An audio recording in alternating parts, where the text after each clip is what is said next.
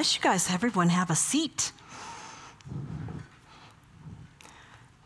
Well, I'm sure your day has been busy for most of you, and go, go, go, and um, then, then you're here. It's a lot in our lives sometimes, but I want to encourage you that this time is that time where you get to quiet yourself, where you get to let God, you know, search your heart and speak His love into your life. It's the time where um, we get to receive, and, and I feel like when we're looking at God's Word, we're just seeing God's face. We're learning who He is, and we're learning all the lines that are there and all the parts that are there, and that is a gift to be able to do. If he didn't leave his word, where would we be? So tonight, just relax. I'm going to pray that we're able to put all the worries and concerns and stress and anxiety behind us and just linger with him. Will you pray that with me? All right, Father, I do pray that you would help each and every one of my sisters and myself to be able to put at your feet, cast our cares there, our fears, our worries, the problems that we're facing, Lord, the needs that we have at the feet of the one who has the answers, who has grace for us and help for us in time of need. We cast those things to you, and now we just want to look at your face from your word. So come and speak to us and reveal yourself to us. In Jesus' name we pray. Amen. Amen. Well, welcome. I'm Venita. I'm excited to get into the Word with you. Everybody, open up your Bibles or your devices and turn to Ephesians chapter 2. Ephesians chapter 2. I'll give you, while you're looking that up, I'll give you a few things to know. I have broken this Bible study up into three segments. Verses 1 through 3 is from death to life. Verses 4 through 10 is seated in the heavenlies or in heavenly places. And verses 11 through 22, He is our peace. And the overall title of this teaching is Seated in Heavenly Places. We're going to jump right in because our time is precious. All right, um, in chapter 2, this chapter, Paul is going to say that the same power that, that caused sinners to move from death, eternal death, to eternal life are transformed into saints. And that's exciting news. So, from death to life, let's read verses 1 through 3. And you he made alive who were dead in trespasses and sins, in which you once walked according to the, the, course of this world, according to the prince of the power of air, the spirit who now works in the sons of disobedience, among whom also we all once conducted ourselves in the lust of our flesh, fulfilling the desires and the flesh uh, uh, desires of the flesh and of the mind, and were by nature children of wrath, just as the others. The Bible, this, I don't know about your Bible, but some Bibles will show um, the words, He made alive in italics.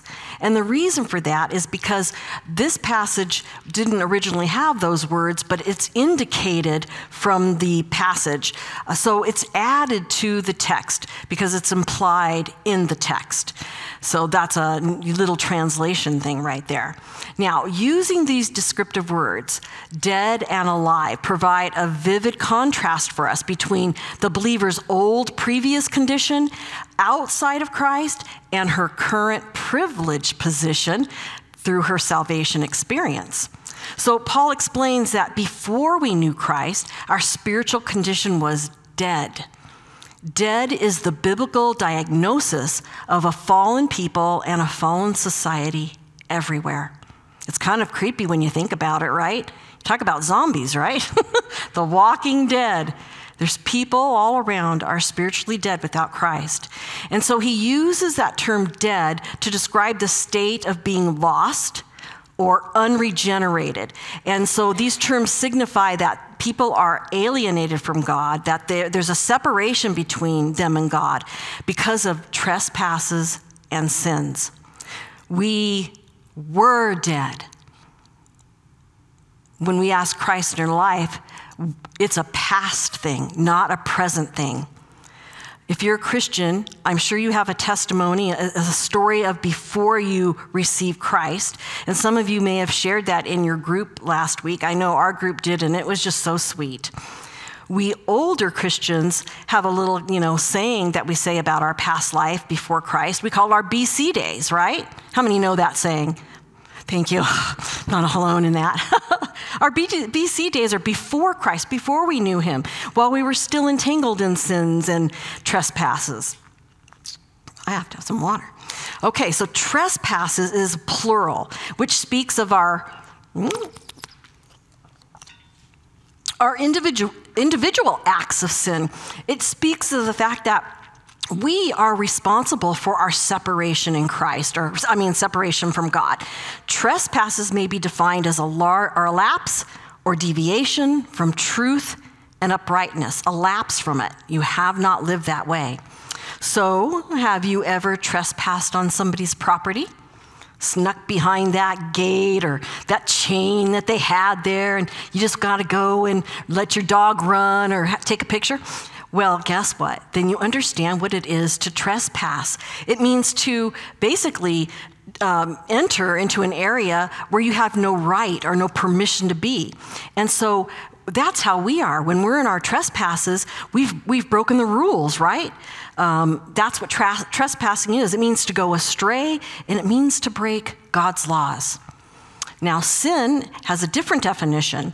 Sin gives us a comprehensive account of all human evil, and it's, de- it's defined as to violate God's law, to miss or wander from the path of uprightness and honor, or simply to do wrong.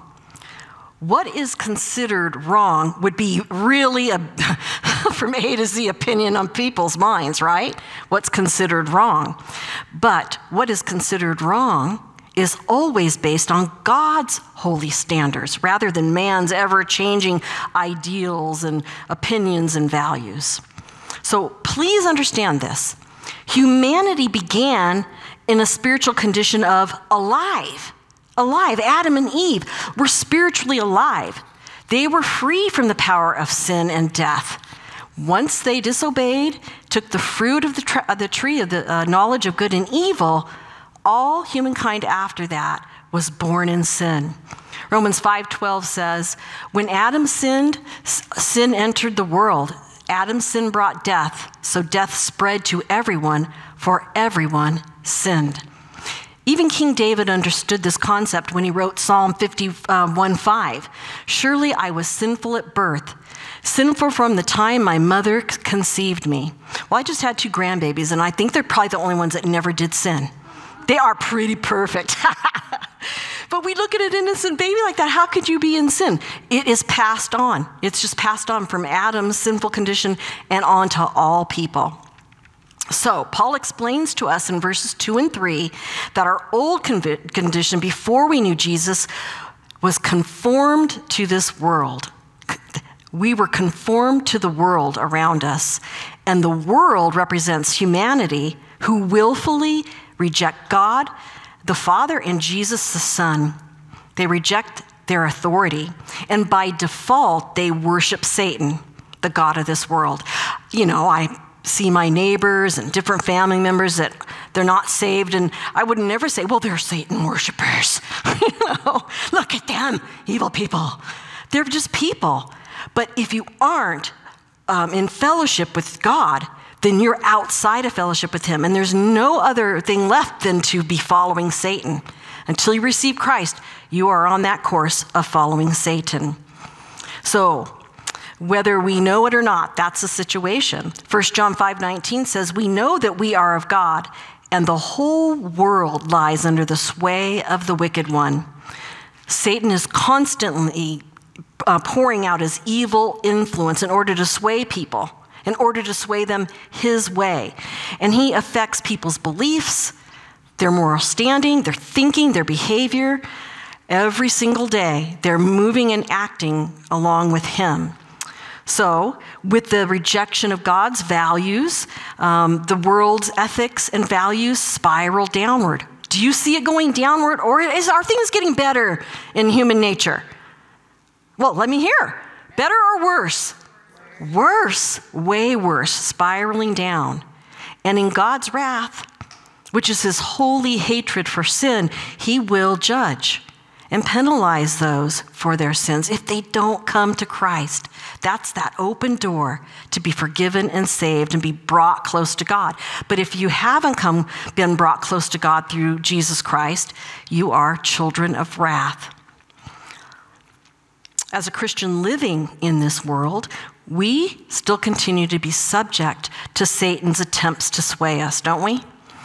The aim of demonic forces are to defeat our walks and to, you know, stumble us in our commitment to Christ. Are you aware of this?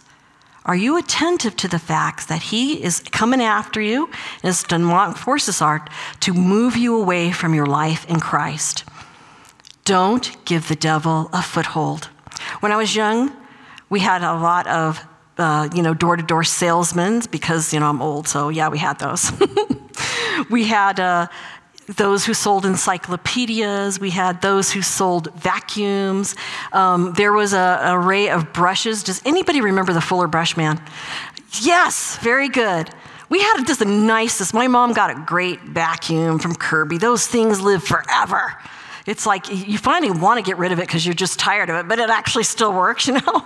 Those brushes, too, were fantastic. We also had milk delivery. It's such so quaint, right? But we still have door salesmen at our doors, don't we? They're selling solar and pest control and security. And boy, can they talk your face off. When one is knocking on our door, I'm, tell, I'm already telling my husband, he's going over, I'm like, be strong, you know, get out of there as fast as you can. We don't need it and we can't afford it. you know? Because they're so convincing and they know how to hype up their product. And uh, some of them really do believe in their products, some of them. so they have a way to sway us to buy what it is, you know, they're trying to sell. And the devil is like that. He's like a door to door salesman. He's seeking a strategic position in your life. He's not going to rob you of your salvation, but he can sure tempt, tempt you into something that you don't belong doing or distract you. Find something to add to your life that doesn't bring any value to it, spiritually especially, or a deception or a lie, even discouragement. The enemy uses discouragement. That, that, that, that, you know, where our heart just hurts and, and we feel we have loss of hope and we don't believe something good could come out of the situation that we're in. We're just discouraged. We've lost the courage to keep going on, is what discouraged means. And Satan uses discouragement to pull us away from the Lord. When my kids were little, we used to sing with them the song, Oh, be careful, little eyes, what you see. Oh, be careful, little eyes, what you see. For the Father up above is looking down with love. Oh, be careful, little eyes, what you see. Be careful, little tongues, what you say. Then be careful, little hands, what you do. Be careful, little feet, where you go. Be careful, little heart, whom you trust. Be careful, little mind, what you think. The Father is up above and he's looking down with love. Be careful. Be careful. The enemy is gunning for you. You probably felt it this week every time you tried to do your homework and just getting here tonight. The Holy Spirit is there to help you, to strengthen you, to help you overcome the attacks of the enemy. And he also brings conviction when the temptation comes and the desire to move away from Christ comes. And we're, we're not just going, I'm going to move away from Christ today. You know, I'm packing my bags. You know, no, it's not like that. But one decision after the next can draw us away when those decisions aren't biblical and righteous. And it's his ploy to pull you away. So it's so important that we slam the door on Satan and his tactics. Yes, as it says here, in our former life, our life was full of trespasses and sins. But in our new life, our new life in Christ, we should be moving forward in the opposite direction into more and more holiness. That's always a mind blowing thing that you consider. Are you more holy today than you were a year ago? Think about that. Am I more holy today than I was a year ago? Am I moving forward or am I moving backward? Because living or being alive in Christ means we are more than conquerors in Christ. And we should be moving ahead as we connect with the Lord, and He empowers us to do that. So I encourage you be watchful. So verses 1 through 3 show us that people without faith in Christ are dead in their sins and trespasses, and by nature children of wrath. But those who trust Christ are regenerated, they're born again from death to eternal life. Now let's move to verses 4 through 10 sitting together in heavenly places. And I'm going to start by reading verses four and five. I so encourage you to follow along when I'm reading uh, on your Bible or device because, uh, you know, these are these these scriptures are very weighty, aren't they? It's kind of shocking what they're saying. There's so much. But as you follow along with me, it'll get in more and more ingrained in you, and it'll help you follow me when I'm teaching about it too. So, verse four. But God, who's rich in his mercy, because of his great love, which he has loved us, even when we were dead in trespasses, made us alive. Together with Christ, by grace, you have been saved. So it says God is rich in mercy. Sinners are saved because for, God's forgiveness has been extended to us through a wealth of mercy. So, just what is mercy?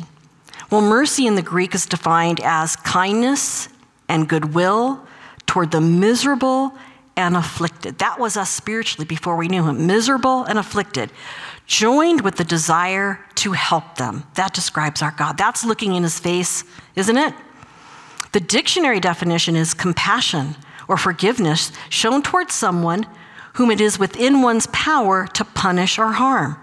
So, God, it is within his power and even right to punish and harm those who are separated from him, who are living a life of sin. But it's his desire that, that he share his love and compassion with you, his, his mercy, and show forgiveness to you.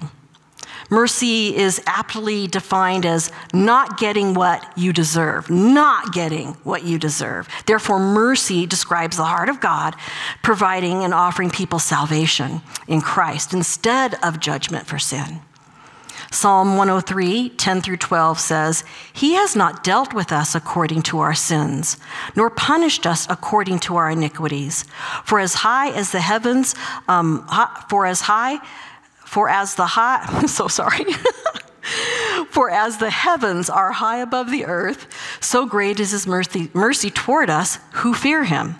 As far as the east is from the west, so far has he removed your transgressions from us. You know, I couldn't point to you south, east, north, nothing.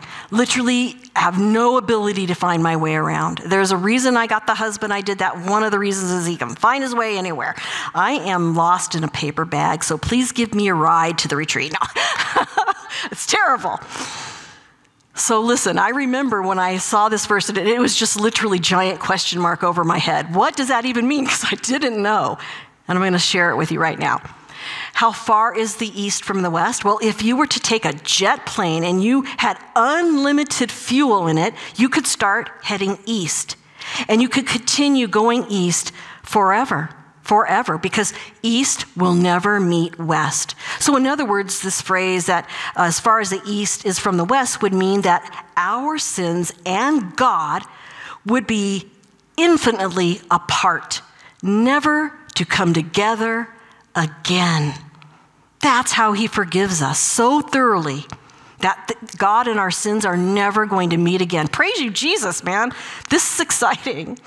So, there's no better analogy than this absolute act of forgiveness shown through East and West. When God forgives, He forgives completely. Our shame is gone forever. Our guilt is pardoned forever. Our debt has been paid forever. We have been set free from the transgressions of all eternity and that's God's mercy. This is how we are positionally with God. Do you sin now and do you need to get right with God? Yes, you do.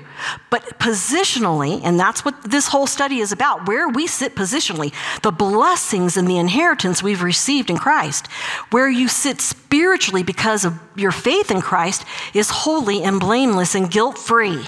Praise Him for that. So, what prompted God to act so mercifully on our behalf? Verse 4 tells us it was his great love for us. Romans 5 8. But God demonstrated his great love for us by sending Christ to die for us while we were still sinners. Now, verse 5 points back to verse 1. Even when we were in our filthiest condition, dead in our sins, we were made alive.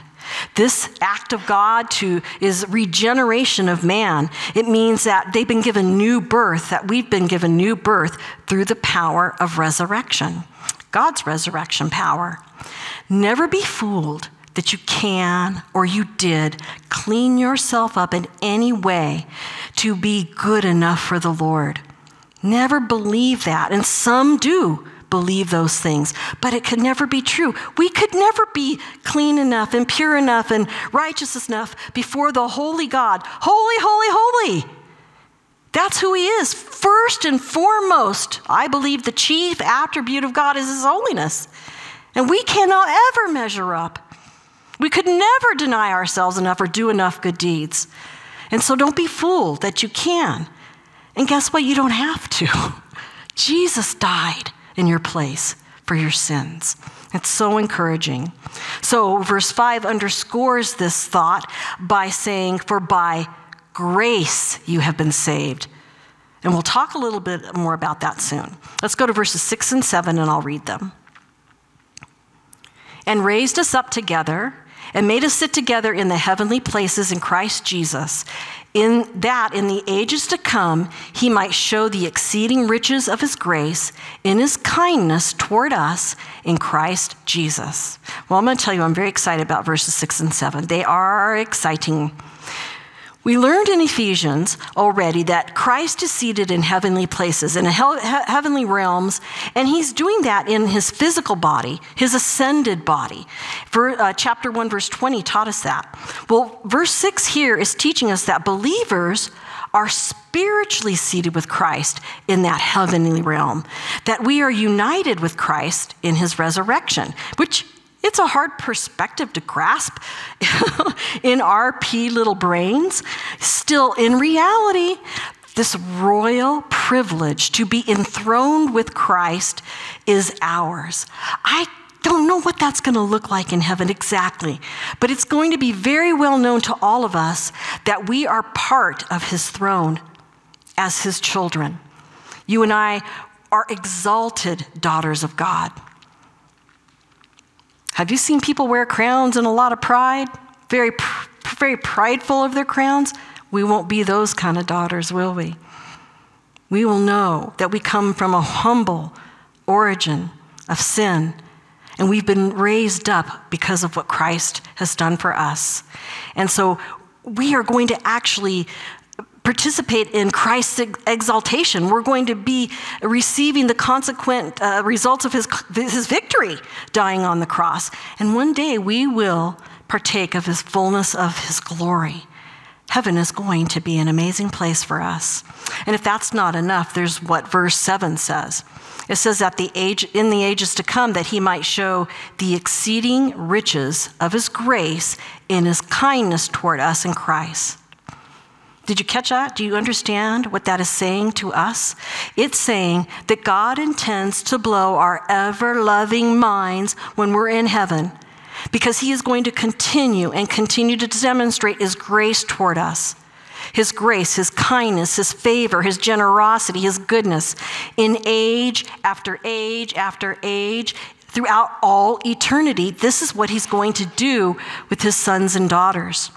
In heaven, we will be blessed and spoil children by his excellent hand over and over again because we are his magnum opus. We are God's most important work of grace. And God will never stop dealing with us on the basis of grace. There's not going to come a point, it's like, okay, done, you're in jail, you got to earn your way out, you know, uh, pay, pay your bail. No, we will always be d- dealt with by His grace. And uh, He will continue to demonstrate grace to- toward us. And as that happens, age after age, and who knows what God has coming in the future, it will be known that God is a God of divine nature, full of grace, full of goodness, full of kindness, full of mercy. It will, it will be that magnificence of who He is, will be shown in how He takes care of us. Can you imagine? How special are we to the Lord? Remember, grace is, uh, is unmerited, unearned, undeserved favor and kindness. Grace is a free will act of God toward those who put their faith in Christ. So then, where is um, oh, I want to mention mercy, where mercy is not getting what you deserve. It's you don't you're not getting what you deserve. You're not receiving separation from God or punishment from God. Grace is getting um, what you do not deserve, which is salvation, a relationship with God, and all the glories of heaven. Some fittingly coined the acrostic for grace, G R A C E, God's riches at Christ's expense. God's grace and beautiful favor. Uh, 8 and 9, verses 8 and 9 say, For by, God, by grace you have been saved through faith, and not of yourselves. It is a gift of God, not of works, lest anyone should boast. So, faith here is that human response of belief or conviction that leads you to reliance on Jesus Christ for salvation. That is what faith is. It leads you to reliance on Christ for salvation. If God's grace is the grounds of salvation, then faith is how we appropriate it. Does that make sense? Rather than the grounds of good works or the law or good deeds. Salvation is a gift, it says. A gift is a thing given willingly to someone without payment, without cost. Romans 6:23, for the wages of sin is death, but the gift of God is eternal life through Jesus Christ our Lord. Lest anyone would boast. No one will boast when they come to heaven. No one will take credit for being there or have anything good to say of themselves. All our praise will be to our Lord Jesus. Galatians 2:16 says, "Yet we know that a person is justified or made right with God by faith in Jesus, not obeying the law." So, this theological argument was very important uh, to keep Jews and Gentiles from turning back to the dead um, traditions of the Old Testament. So, this is actually a very important teaching. Do you know there's a lot of movement toward uh, Christians moving back to the law, moving back to those old Jewish traditions? But we don't need to. That's not what saves us. What saves us is Jesus Christ. All of those traditions looked, looked ahead forward to Jesus Christ, right? To the cross, to his death for us. And so now that it's done, all we need to do is believe in him. So let's move to verse 10. We are his workmanship, created in Christ Jesus for good works, which God prepared beforehand that we should walk in them. So uh, that we are his workmanship means that we are God's creation. He created us. Psalm 100 verse 3 says, "Know that the Lord he is God. He it is he who has made us and not we ourselves." But because God is our creator, we were created in the highest skill level you could ever have ever, ever. And that makes us of high value. We can compare this to the idea of the art world. The most skillful artist, their works are worth the most, right? They have the highest financial value. But nobody could ever compare to Creator God created in Christ Jesus for good works is kind of like uh, they're just opposed. We are not saved through works, right? And yet we were created to do good works, which is a very interesting how they put that together, how the Lord put that together. And so it's teaching us that we are designed to, to um, perform good works, to, to serve. And it's something that comes out of our outflow of our relationship with Jesus. As we love him, as we grow in him, as we know him, naturally we're just going to want to be a blessing to others. Titus 3:14 says, "Let our people learn to devote themselves to good works, to help cases of urgent need, and not be unfruitful." Do you remember the story of Dorcas? Dorcas' story was in Acts 9, and in verse 36 it says, At Joppa there was a certain disciple named Tabitha, which is translated Dorcas. This woman was full of good works and charitable deeds, which she did. Her story continues and it shares that Dorcas died. And she had many, many mourners who were grieving her loss, mourners who had experienced her love, her kindness, her generosity through her sewing ministry. Yeah, Sewing. Sewing's a good thing. I love to sew. It's a good thing. God used her through this ministry of sewing. And so it, it's Acts 9 39 says, All the widows stood by Peter, weeping, showing the tunics and the garments that Dorcas had made while she was with them. What a precious picture that is of a sister just having loved and spent her life doing for others and being a blessing to them.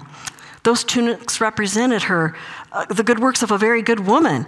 She lived others oriented. And we know that God is calling us to live other others oriented lives. What good works will follow you on the day of judgment when all our deeds will be examined? Prepare a meal, babysit for a friend, give a ride, pay a bill, pray for others through their trials. That's appreciated. That does so much more than we ever give it credit for. Serve in children's church or oversee ministry, support a missionary, send a card. The, the great thing about good works is that there's no cookie cutter way. There's so many ways we can serve the Lord with good works. Don't compare to anybody else. Listen to the Lord. Let Him put a burden on your heart. Let him show you the need. And when he shows it to you, respond. Do what you can. Sometimes we get it gets so big in our mind that we just say, I'm not going to do it at all. But do what you can, right? If he's putting it on your heart, there's something you can do. And don't think of whatever it is you have to do as just too little. Don't do that to yourself. Just do that little bit. Be obedient, responsive to the Lord.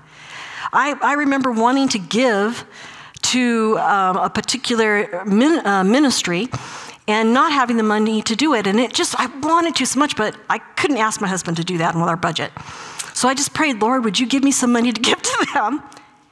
And I got money in the mail, and I don't know who sent it to me in an envelope. And I, and I gave it. Isn't that crazy?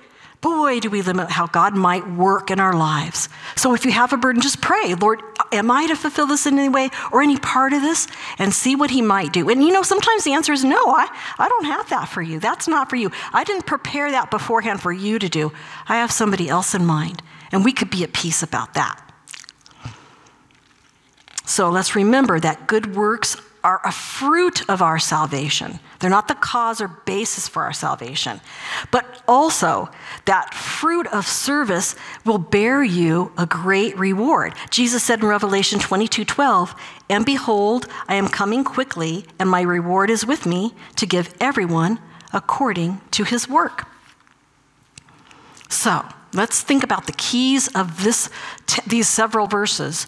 Um, first, for, verses 4 through 10 is that the believers are seated together with Christ in heavenly places and will be recipients of God's grace forever. And then we'll move on to our last section. He is our peace, verses 11 through 22. Let's read 11 through 13. Therefore, remember that you, once Gentiles in the flesh, who were called uncircumcision by what is called circumcision, made in the flesh by hands, that at that time you were without Christ, being aliens from the commonwealth of Israel and strangers from the covenants of promises, promise, having no hope and without God in the world. But now in Christ, you are one, you who were once so far off have been brought near by the blood of Christ. So again, Paul talks about the former condition of believers when we were unbelievers, and it's spe- specifically speaking of Gentiles.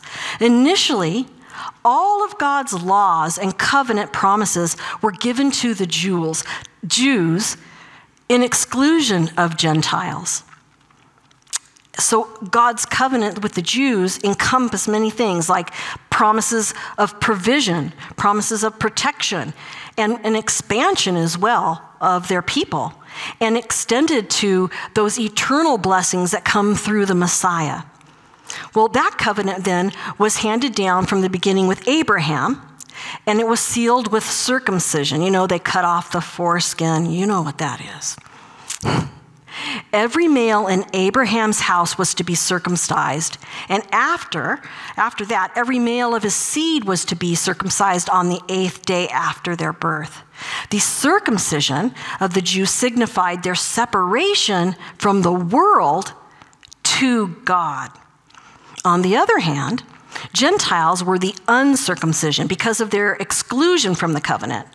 But the good news is in verse 13, it says that Christ shed blood on the cross, opened the door of salvation for Gentiles. In fact, Romans 2:29 says, "But he is a Jew who is one inwardly, and um, circumcision is that of the heart, in the spirit, not the letter." Um, whose praise is not from men, but from God.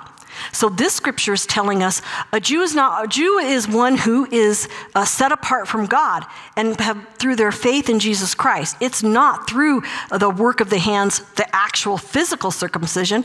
It's having your heart set apart from God, and so it's not uh, for the praise of men and like I've been circumcised, I'm set apart, I'm God's. No, it's about your heart being separated from the world and separated to God verses 14 through 17, and I'm going to read those. For he himself is our peace, who has made both one and has broken down the middle wall of separation, having abolished in his flesh the enmity that is the law of commandments contained in ordinances, so that so as to create in himself one new man from two, thus making peace, and that he might reconcile with both to God in one body through the cross thereby putting to death enmity. And he came and he preached peace to you who were far off and to those who were near. For he is our peace, who has made both one. He's broken down the middle wall of separation between believing Jews and believing Gentiles. You know, the temple had an outer courtyard, and this was the area where Gentiles could worship Yahweh. Did you know that? That there was an area that God had set apart for the Gentiles to worship him and even sacrifice to him. But they could go no further than that court. There was a physical barrier, an actual wall of separation between the Jews and the Gentiles uh, where they could worship. That barrier represents how far off the Gentiles were from the Jewish God and his people. Well, there were actual notifications posted at the different entrances of the uh, temple uh, that would warn any Gentile if they entered that that was punishable by death. And yet, the Gentile court existed. And what that preaches to me is that God had always had an intention and a desire to bring those, those Gentiles near. By the way, a Gentile is anybody who's not Jewish by ancestry. That's what it, and so that's the separation between them. But uh, what uh, kept Gentiles at a distance? What was really the issue? David Guzik wrote, or the Gentiles and the Jews, they had this distance. There was a kind of a hatred um, between them. David Guzik wrote, the source of contention between Jews and Gentiles was the fact that the Gentiles did not keep the law. But since Jesus fulfilled the law on our behalf, and bore the penalty for our failures to keep the law, we are reconciled through his work on the cross, putting to death the source of contention. Verses 14 through 17. He is our peace. Through faith in Christ, the Messiah, that wall of separation was broken down for the Jews and Gentiles. And as we've learned, be, we have become one body or one man in unity of fellowship now. Verse 15 teaches there, there's no longer enmity or a spiritual hostility between us, Jews and Gentiles, who were previously bound by this religious separation. The Jews of Paul's time struggled with, to accept Gentiles and needed this truth to be clear. And then the Gentiles also needed the assurance with what high ground they stood for their salvation. And so that's why he's bringing these matters up before them. Let's read verses 18 through 22, our last portion. For through him we both have access by one Spirit to the Father. Now, therefore, you are no longer strangers and foreigners, but fellow citizens with the saints and members of the household of God having been built on the foundation of the apostles and prophets, Jesus himself being the chief cornerstone, in whom the whole building, being joined together, grows into a holy temple in the Lord, in whom you also are being built together for a dwelling place of God in the Spirit. Notice right there, verse 18 Through him, Jesus, we both, Jews and Gentiles, have access by one Spirit to the Father. All three members of the Trinity are at work to bring access to, the, uh, uh, to us for the presence of God, both Jews and Gentiles. This kind of access that, that the Jews were being offered through Christ was something the average Jew had never experienced. In fact, they'd never dreamed they would experience this. Only the high priest could ever go into the temple and go visit the mercy seat and be there in the presence of God in that way. And certainly, we know since the, the Gentiles could never go that far, they were not permitted to either. But now, access to God is wide open 24 7 for all who believe in Christ for salvation. I know that we don't have face to face. I know that we're not right there yet. We're, we're getting close. Be aware, we're getting very close. But we have access. I can be in His presence. I can call out His name. He hears me, He responds. He's there for me. He's as real as anything. He's re- more real than a person next to you. He's God and He's alive. And so, access 24 7, whatever you're going through, whenever you're going through, wherever you're going through, it doesn't matter. He is there for you, and you can call on his name. And I hope that you're taking advantage of that, pri- that privilege day and night, day and night, calling out to him. I've been trying to diet, and I'm going to tell you, I've been calling on the name of Jesus a lot. I have never thought of cinnamon rolls and cake more than my life that I have recently. And I literally have to go, okay, Father, cleanse my mind of these things, put them far from me. But He's helping me day by day. I'm literally being helped by Him, and my heart and my attitude are changing, and those things are getting further from me. But I call on Him, I depend on Him. I trust in him. And that's what we all have to do with our particular set of circumstances. Cry out, Daddy, Father, King, Lord, Almighty, gift giver, promise keeper, lover of my soul, husband, shepherd, mighty fortress, the great I am. He is everything we need. Scripture describes the members of God's newly formed church not just here, but also other scriptures. And it talks about the fact that the Jews and, Jews and Gentiles are making up a building for God's presence to dwell in. And it calls us living stones. The Jews and Gentiles, as they're coming to faith, they're being built upon one upon another. And this is going to be a habitation for God where He lives and dwells. The cornerstone being Jesus Christ. Now, expositor Salmond wrote Cornerstone denotes the stone placed at the extreme corner so as to bind the other stones in the building together. The most important stone in the structure, the one on which its stability depends. So, this new church that's being formed with Jesus as a cornerstone is so strong that Jesus said, All the powers of hell will not conquer it. Jesus has protected us, and we are his church, and we will remain strong. We will move from this world and this life to our heavenly one. So let's go, let's review what we learned tonight in chapter two. Through Christ, God has transformed sinners and trespassers into saints. He has transported every believer from eternal death to eternal life. We are seated with Christ in, in heaven. A spectacular destiny awaits us. Believing Jews and Gentiles form one new body, one dwelling place for God. Jesus is the bridge of peace between Jews and Gentiles. God calls you to bless and serve others in good works. God's access or access to God's presence is available to you 24 7. And Jesus is the cornerstone, forming the church of which his presence will dwell. Let's pray. Thank you, Father, for the multitude of promises in just one chapter. Our future is glorious, it's sure, it's protected because of your love and mercy for us. We thank you for your grace and your amazing intentions to bring us closer to yourself. We pray the enemy would be far from us and we would choose you each and every day. In Jesus' name we pray. Amen.